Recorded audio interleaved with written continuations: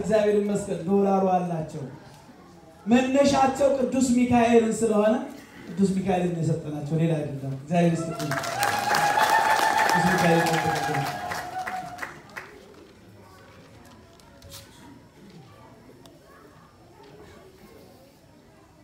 እንደምን አደራችሁ? ጤና ይስጥልኝ። እንደምን አደራችሁ? እንግዲህ ይህንን ዛሬ በጣም ነው አስር ዓመታችንን ስላከበርን በዛ ግን ያው ዘግተናል ብዬ ነበር ያሰብኩት። አሁን ዛሬ እንደገና አስበው ይህን ነገር በማድረጋቸው በጣም እነሱንም አመሰግናለሁ። ይህን ሽልማት የምቀበለው በዛን ጊዜ በችግሩ ጊዜ ማለት ነው ቅዳሴ ያስቀድሰን ልጆቹ ከቆረቡ በኋላ የሚቀምሱት ምግብ አጥተው ሴቶችን ጎትቼ እስከ ከቤት እስከ አንድ ቂጣ ሮጥ ብለሽ እስከ አምጪ ብዬ ላኳችሁ ካላችሁ እዚህ በእናንተ ስም ይህን ሽልማት ተቀብያለሁ።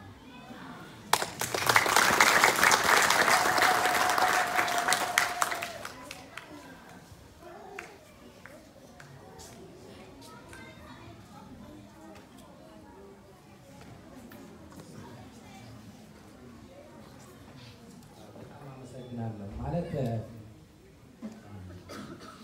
ይህን ቦታ ለኔ የሚገባ አልነበረም። ብዙዎቻችሁ እንደምታውቁት እኔ ስራ እንግዲህ ያው ሁላችንም እንደምንሰራው ማለት ነው ሳይንስ ስራ ነው የምሰራው። title ኤም ሳይንቲስት ነው። እንግዲህ ይህን የምለው ለጉራ ሳይሆን ብዙዎቹ ሰዎች ሳይንስና ሃይማኖት የሚጣጣም አይመስላቸውም። እንግዲህ አንድ ሰው የሳይንስ ሰው ከሆነ ሃይማኖቱን በጣም ያው የሚጋጭበት ነው የሚመስላቸው እና እኔ ግን ሳይንሱን በገፋሁበት ደሞር በጣም ባጠናው ጊዜ የእግዚአብሔርን ተአምራት እያየሁ ምክንያቱም በጣም እግዚአብሔርን የሚፈታተኑት በጣም ቁንጽል የሆነ እውቀት የያዙ ሰዎች ናቸው። ልጆች ላል ይሄን ቁንጽል እውቀት ያለው ሰው በጣም አደገኛ ነው ይላል። ጠለቅ ብላችሁ ስታዩት ሳይንሱንም ስታዩት የእግዚአብሔርን ስራ እንድታደርግ ነው የሚያደርግ። አንድ ምሳሌ ልስጣችሁ በቀላሉ ማለት ነው። ካልኩሌተር ያላችሁ ካላችሁ ወይም cell phone ኣችሁን አውጡና አንድ ተናግሬ የእግዚአብሔርን ስራ በሳይንሱ እያወቅ ስትሄድ የምታደንቅበትን መድረክ ልንገራችሁ። ሰዎች እኛ እያንዳንዳችን እዚህ ያለነ ሁላችንም ሁላችንም ማለት ዘራችን ወደ ልጆቻችን የምናስተላልፍበት ክሮሞዞም የሚባል አርባ ስድስት አሉ። እያንዳንዳቸው ጥንድ ናቸው ወይም ሀያ ሶስት ናቸው እና በእነዚህ ውስጥ ማለት ነው ዲኤንኤ የሚባል እኔ ዲኤንኤ የምለው እንደ ሶስት ስላሴ ነው የምቆጥረው። ምክንያቱም የና ሚስጥሩ ያለው ዲኤንኤ ላይ እና ደግሞ የሚሰራው ይገርማቸዋል በሶስት ነው የሚሰራው ልክ እንደ ሶስት ስላሴ ያላለ አብ ወልድ መንፈስ ቅዱስ እንደሚሆን ሲሰሩ ደግሞ ሶስት ካልሞላ ሶስት ሶስት ጥንድ ካልሆነ አይሰራም። ዲኤንኤ አይሰራም ጭራሽ። የሚገርም ነው እና እንግዲህ ለማለት የፈለግኩት በእነዚህ ዲኤንኤ ውስጥ በአንድ ሴል አንድ ሴል ብቻ ማለት ነው አንድ ሴል ህዋሳችን ውስጥ ያለው ዲኤንኤ ቢጠነጠን ማለት ነው በጣም በጣም pack መሆን ያለው ቢጠነጠን ብናረዝመው ሳይንስ እንደሚለው ማለት ነው ወደ ሁለት ሜትር ይሆናል በአንድ ሴል ብቻ በአንድ ህዋስ። ይህንን ወደ ማይል ስንቀይረው 0.012 cell phone ኣችሁን ያዙ ብያቸዋል። የአንድ ሰው ነው የምናወራው። በአንድ ሰው ደግሞ 50 ትሪሊየን የሚያህሉ ሴሎች አሉ፣ እኔ ያለኝ እናንተ እያንዳንዳችሁ 50 ትሪሊየን አስብ እስኪ። ቅርና በኢትዮጵያ አሜሪካን ሀገር ራሱ ጥቅም ላይ ያለው አለ ቁጥር ነው።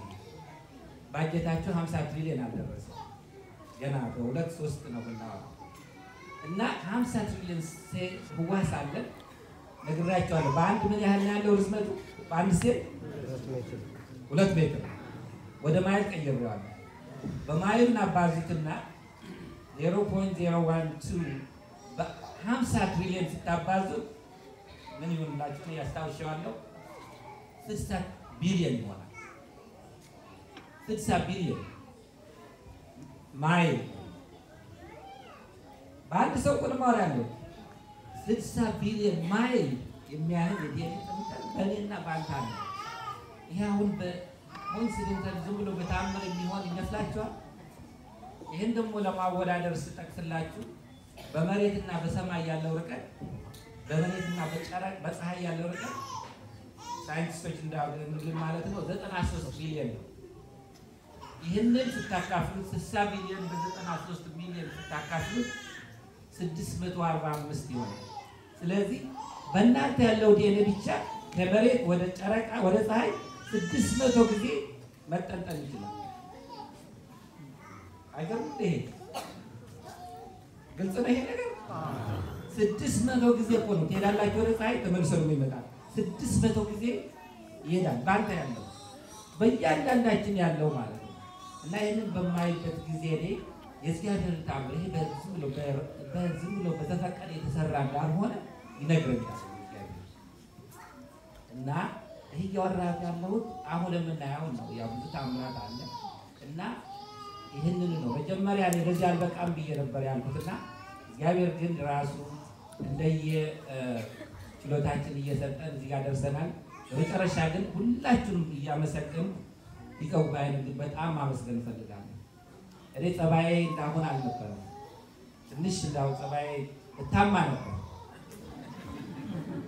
ጸባይ የለውም ነው የሚባለው። በቃ ትዕግስት ያጥረዋል ተብሎ ብዙ ታማ ነበር። ግን ለምንድን ነበር የሚጨንቀኝ? ችግር ነው። ሰው ሲቸግረው ጸባይ ያንሰዋል ያንሰዋል እና በዛን ጊዜ እሳቸው ደግሞ ይሄን ነገር የፈለገ ይሆን ብለው ከኔ ጋር በመስራታቸው በጣም በሚገርም ሁኔታ እንዳው እያዩት እያዩት ሲሄዱ ነገር ቀላል ነው፣ በቃ መስራት እንችላለን ለካ እያሉ በጣም አብረን ተግባብተን አሁን ወንድምና እህት ነን። እንዲያውም አሁን የሰው ልጅ ከየትም ይሁን ከየት አልጠይቅም፣ አላጣራም። ያው ያለው ሁኔታ የምናየው ማለት ነው። አባን አሁን ስቀርባቸው ያው በካህንነታቸው ነው እንጂ ከየት አካባቢ እንደሆኑ ምንም እስካሁን ድረስ እንኳን አላውቅም። እንዲያው ግን እጠረጥራለሁ፣ ጥርጣሬ አለ። ምክንያቱም ከእኔ ጋር በጣም ስለሚግባቡ የአድዋ አካባቢ ልጅ ይመስሉኛል።